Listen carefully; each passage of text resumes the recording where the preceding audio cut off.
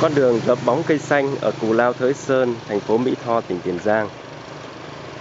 Trong khi uh, tuyến đường chính xuyên uh, dọc Cù Lao Thới Sơn, xã Thới Sơn, thành phố Mỹ Tho, tỉnh Tiền Giang nắng trang trang.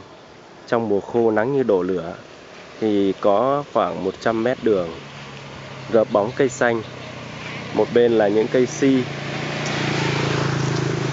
lâu năm một bên là vườn nước.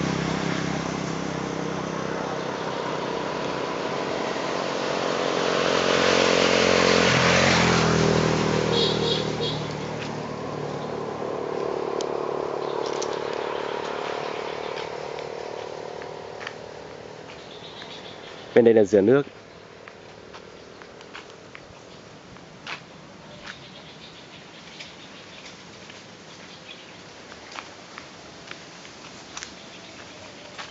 Chắc đây là à, cây cối do chủ nhân của căn nhà này trồng.